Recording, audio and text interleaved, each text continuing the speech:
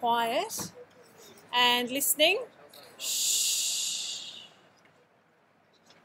So, a few weeks ago, we talked about documentary conventions or the elements of a documentary. In your books, you actually have notes on it, believe it or not.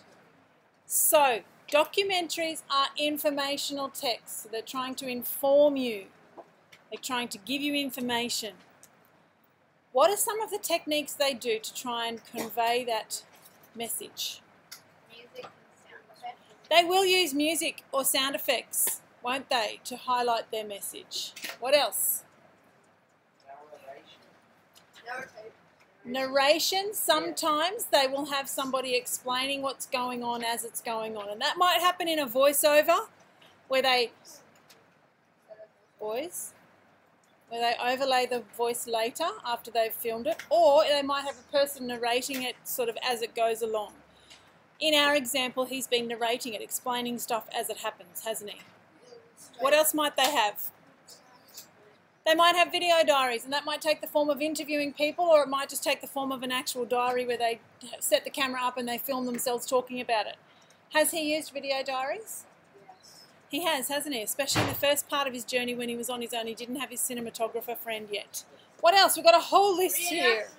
Some reenactments. So that is when they get some actors to, to replay or act out what has happened, what did happen in real life, because they didn't film it at the time. He's done some of those, did you notice? When his horses got stolen and they showed what was happening. That didn't he didn't film that while it was happening. He re- had, it reenacted with using actors and horses and stuff. Were there any other things? Yes, oftentimes illustrations will be used, um, and they might be computer generated images or CGI. So it might take the form of diagrams or flowcharts or little animations sometimes on different documentaries, or it might take the form of who can think of a good example of what we've seen in this documentary so far? What kind of images or pictures has he shown? He's talking about foreign countries that we haven't been to before, we're not very familiar with. So, what has he used to help us understand where he is? A map.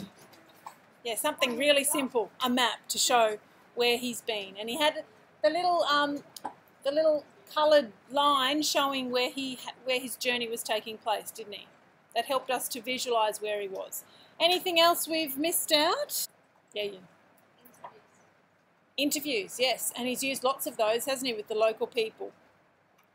What about um, statistics and facts? Has he told us information about some of the places where he's been? Yeah. Yes, he has. And that makes it quite interesting, doesn't it? Uh, sometimes, even though this is an informative text to tell us information, they will be trying to persuade us to think in a certain way. And so when that happens, they will use persuasive devices, which we will talk about another day. Okay, any questions? Everybody understand?